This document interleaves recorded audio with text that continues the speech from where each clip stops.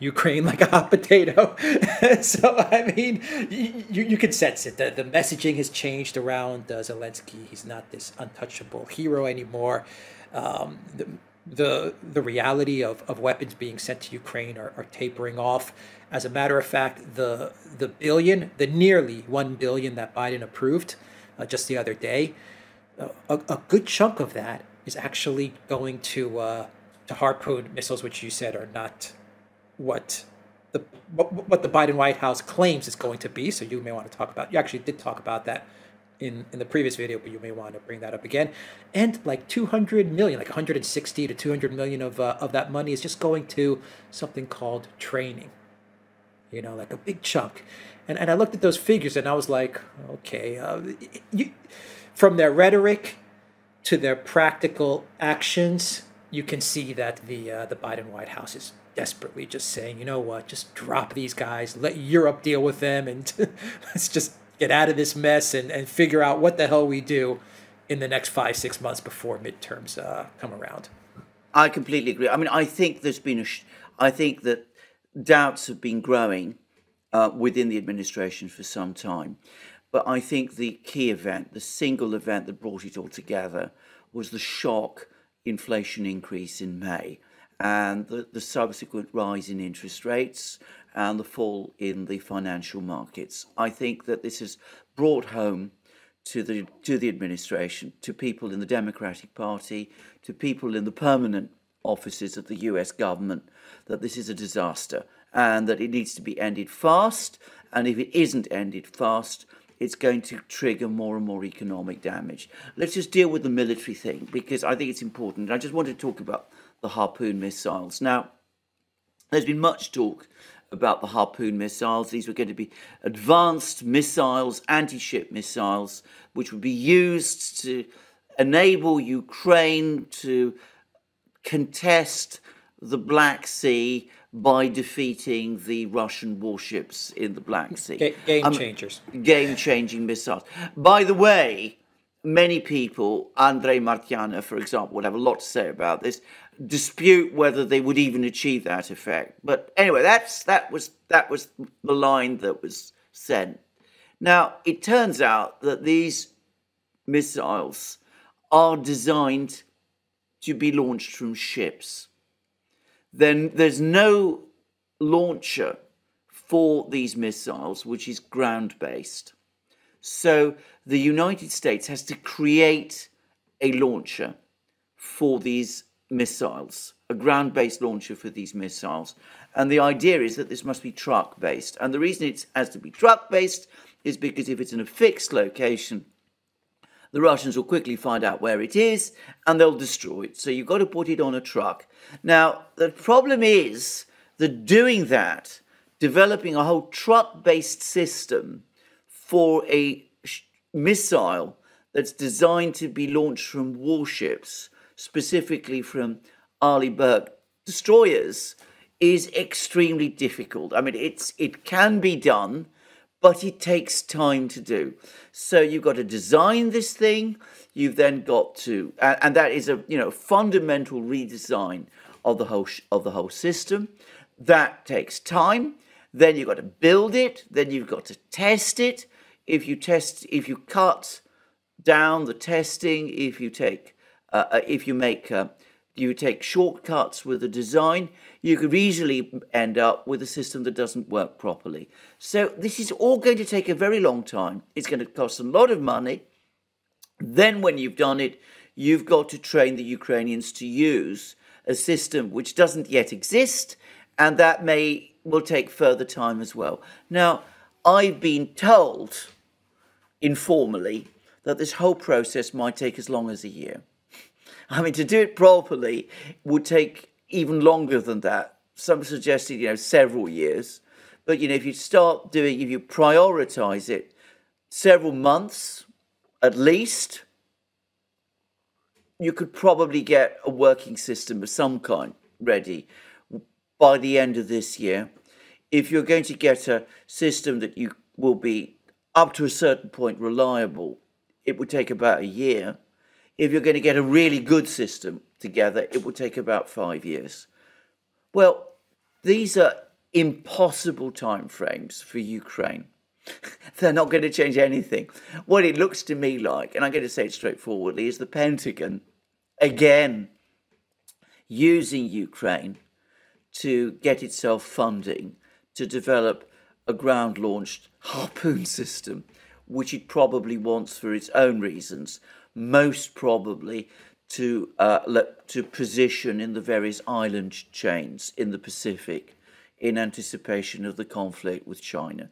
That's what it really looks like to me. I am being maybe I'm being too cynical here, but I mean this isn't going to happen anytime soon enough for Ukraine. That's the reality. Now, if you look at the rest of the arms package, as we said before, it's not really delivering weapon systems for Ukraine in anything remotely like the quantities that Ukraine needs. So 18 more uh, howitzers on top of the 108 that was provided before. There are reports that Russia has already destroyed more than 18 of those howitzers which were already de- delivered. So, in fact, that isn't even going to replace those which have been already lost. 36,000 rounds of ammunition. The Russians launch 70,000 rounds of ammunition in Donbass every day, according to what the Ukrainians say. So, this isn't going to change anything. And realistically, the arms packages are just dwindling away. The Pentagon has looked at the situation in Donbass. They realize Ukraine is losing. They realize that this is simply throwing valuable equipment into the battle where it can't, where it's just been thrown away, and they're quietly dialing down support for Ukraine. That's the way it looks to me. That's the reality of the situation as it appears to me. And this harpoon story it turns out really doesn't mean anything at all. Now, that's, that's the one thing I wanted to say about that. Now, on every other front, we've now had those gratuitous comments by President Biden about Zelensky, about Zelensky not listening to Biden's wise and good advice before the war. Um, that's raking up an old story. Why remind people of it now? But now we've also had further comments from our old friends, the anonymous officials. And this is a tweet from uh, uh, Saleha Mohsin, and she is the chief Washington correspondent of Bloomberg, and it's being widely uh, publicized in other parts of the um, US media. And this is the tweet Some Biden officials, some Biden officials, which ones one wonders, privately express concern that rather than dissuade the Kremlin as intended, US sanctions have instead exacerbated inflation, worsened food insecurity, and punished ordinary Russians more than Putin and his allies. Well, we can disregard the concerns, the crocodile worries about ordinary Russians. If you look at the original sanctions, they were clearly intended to hurt ordinary Russians. But the key point there is some Biden officials privately admitting that the sanctions have failed because they're creating worldwide inflation, they're creating an inflation crisis in the United States, they're forcing the Fed to increase interest rates, triggering a recession, which is going to hurt the United States itself. And of course, they've that uh, inflation is partly caused by rising food prices, for which there really isn't any short or simple answer. Now, I'm going to make a guess. I think these officials that we're hearing from are people within the Democratic Party electoral machine they're quite possibly Obama's people. Notice how quiet Obama has been. He's not coming out and supporting this policy on Ukraine at all. And I can't help but think also, and this is in tune with her public comments, that it's Janet Yellen and the Treasury team who are looking at the situation in the economy and are becoming increasingly worried.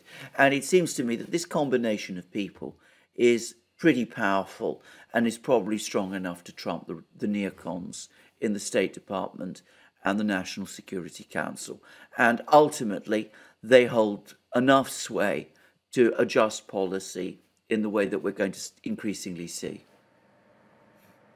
Yeah, you also have the story with with regards. I think it was either the New York Times, the Washington Post that read it like a day or two ago, saying that um, Biden actually told Blinken and Austin to not be so gung ho to go after Russia as well, to, to tone it down and and to not want to destroy Russia. It says something along those lines. I'm yeah, paraphrasing. That's right. That's right. But you, the, the basic essence point, of actually. the story was that Biden wanted things to be more measured and calm and more diplomatic, but it was these Clintonite, the Blinkens, the Austins, you could say the Sullivans, these people, the, the Nuland Blinken faction that was, you know, we have to destroy Russia.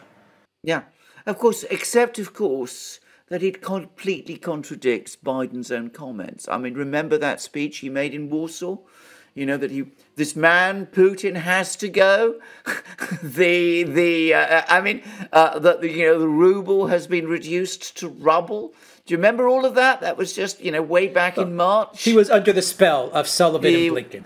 Absolutely. Right. Well, of course, of course, of course. I mean, you know, Sleepy Joe. I mean, you know, he's uh, he's only the president when all said and done. I mean, you know, what what does what can one expect of him? But you know, but the fact is, he's now telling everybody, well, you know, all that I said way back in uh, March. That's not our policy.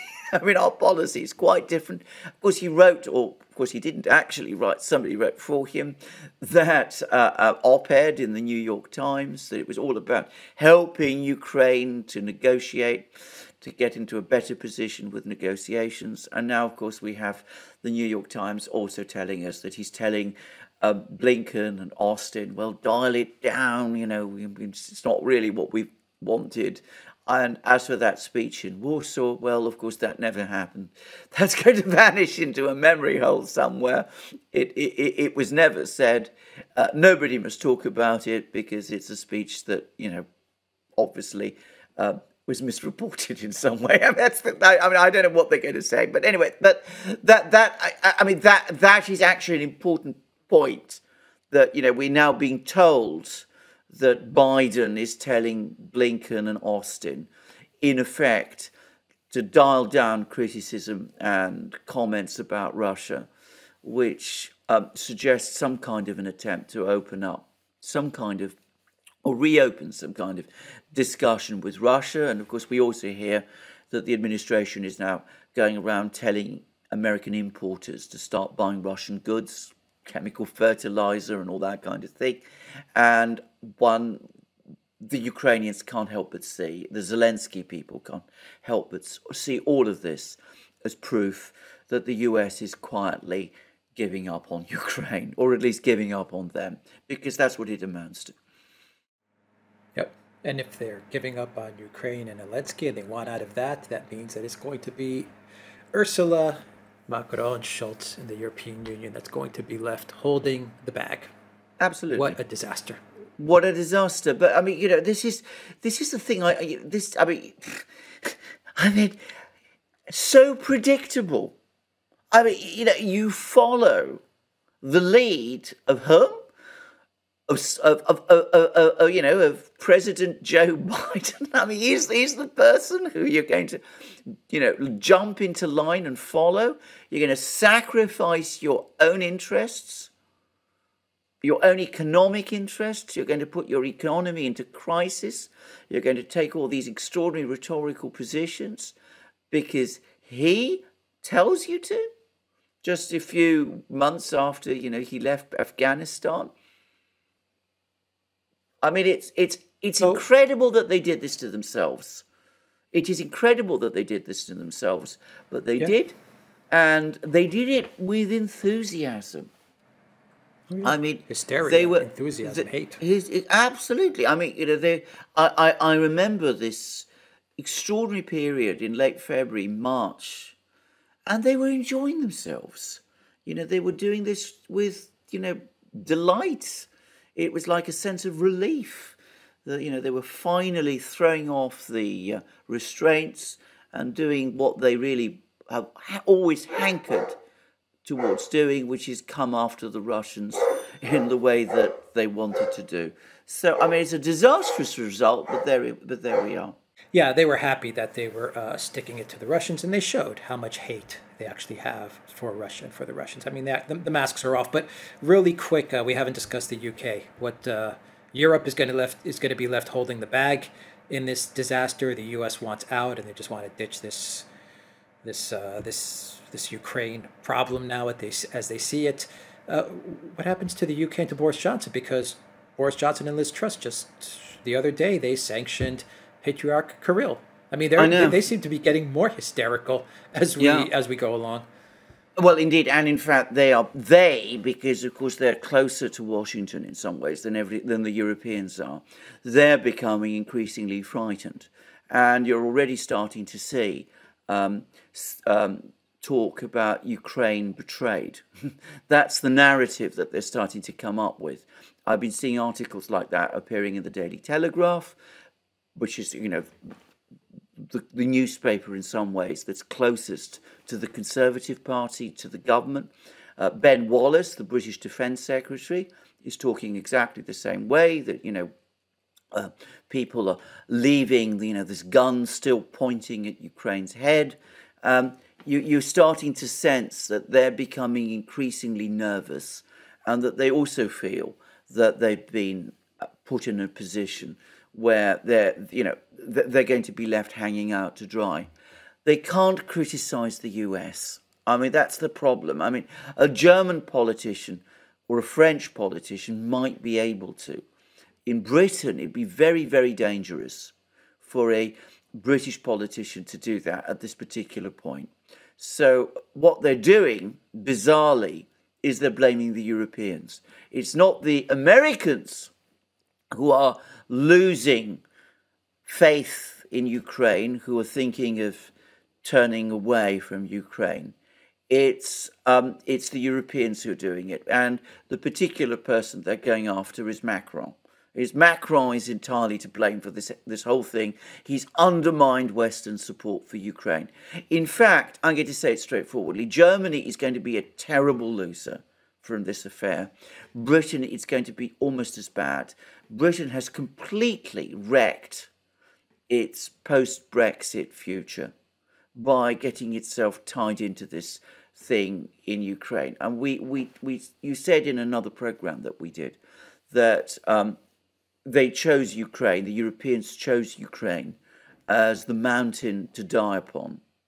The British, it's even worse than that. I mean, you know, they, they, they not only chose to die on this particular mountain, they, they you know, they, they, they struggled, they, they, they did this in the most grotesque and ludicrous way.